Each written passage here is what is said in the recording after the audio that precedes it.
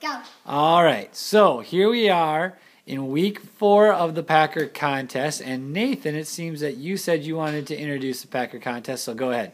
It's the Packers and Saints. The Saints are 0 3, the Packers are 1 and 2. Okay. We have.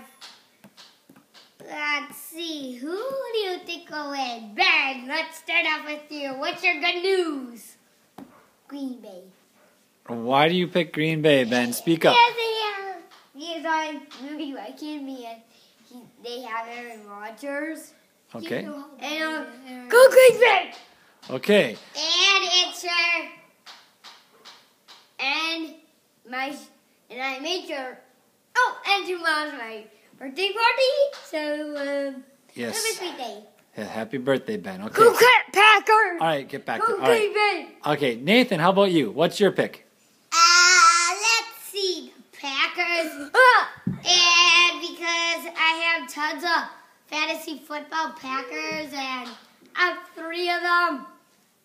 Uh, Finley, Michael Finley, uh, James Jones, and Donald Driver. And they are um, really good. And Ben has Jordy Nelson on his team. And we play each other for fantasy football. And I choose Packers! Okay, I think we've got it. All right, say goodbye.